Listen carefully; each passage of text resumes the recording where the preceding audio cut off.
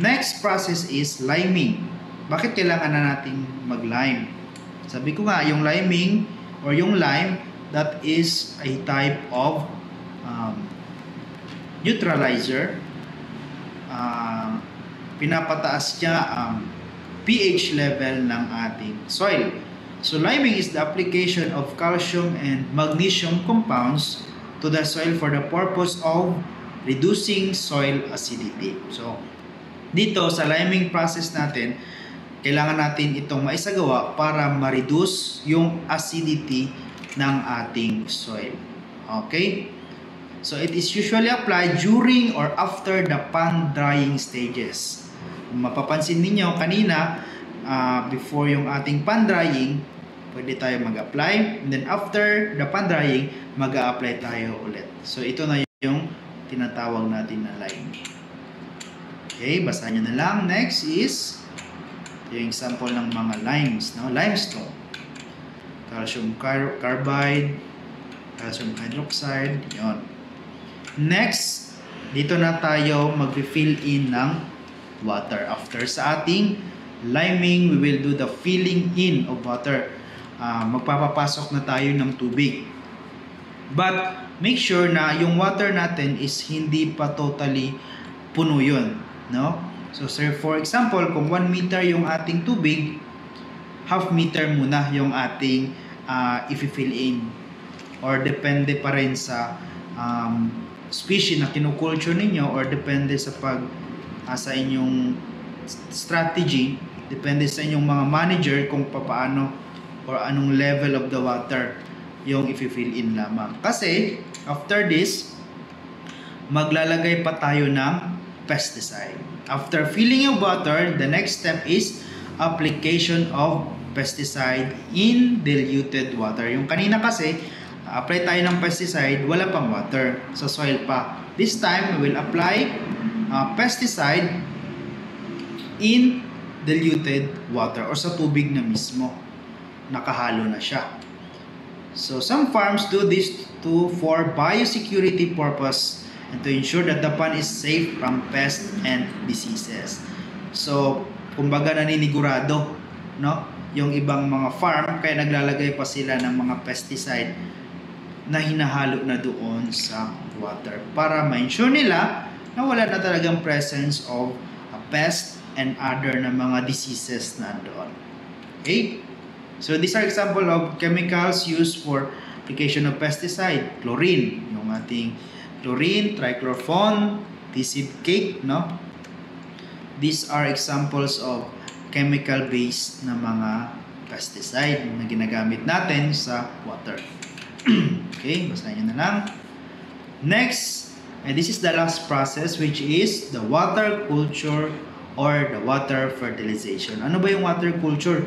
Pagpaparami ng water? Padaghanon ang tubig? No. Water culture is uh, dito na magpapatubo tayo ng natural food. So, maglalagay tayo ng fertilizer para tutubo na yung mga natural food na kailangan natin para ipakain doon sa ating mga fry or fingerlings later on kapag tayo ay magsastocking na. Okay? So these are water culture fertilization process. So we will use organic fertilizer, no? So ngayon, gumagamit na tayo ng mga inorganic fertilizer para mas mapabilis yung um, uh, pagdami ng mga natural foods. In earthen pan, gumagamit tayo ng organic fertilizer, no?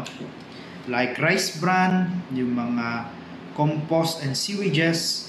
Yung iba, gumagamit tayo ng mga chicken manure, chicken dung. But it's not advisable in this, in, it is not advisable in commercial um, culture or aquaculture kasi nga may mga dumi na present doon sa mga um, dumi ng hayop.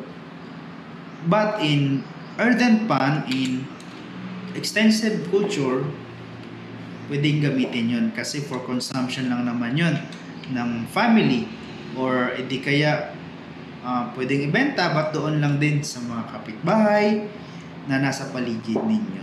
Okay? So the rate of application for funds, take note of this, ranges from 500 to 2,000 kilograms per hectare. So, ganyan ka dami na amount or kilograms ang ina-apply sa isang 1 hectare fish pond. 500 to 2,000 kilograms of uh, fertilizer yung ating ina-apply. So, ayun nga, inorganic fertilizer or synthetic fertilizer like yung uh, ammonium sulfate, ammonium phosphate, na those are example of inorganic or uh, synthetic fertilizer.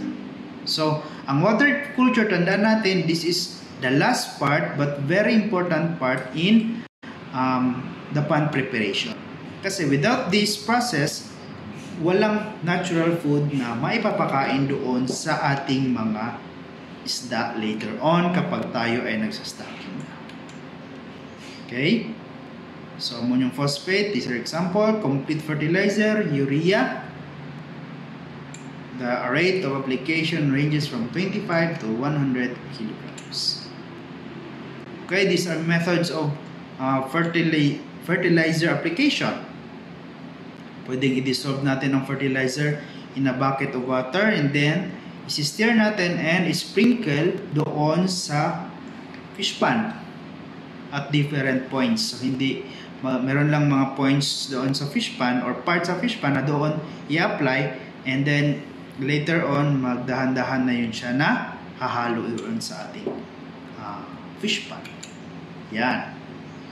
These are example of fertilizer application for earthen ponds.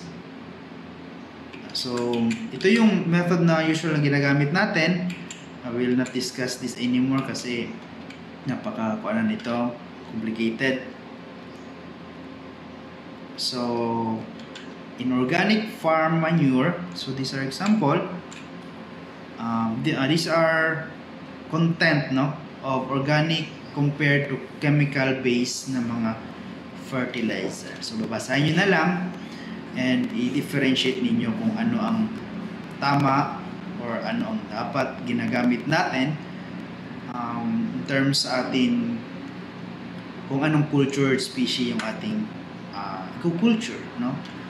And how much amount yung ating ilalagay dyan. Okay? So, thank you for listening. That is our pan preparation. So, guys, please um, review your pan preparation, the processes, the step-by-step. Kailangan hindi magkakahal uh, magrarumble kumbaga yung ating step by step process kailangan talaga na naka step by step or arrange yung ating pagpapan preparation okay thank you so much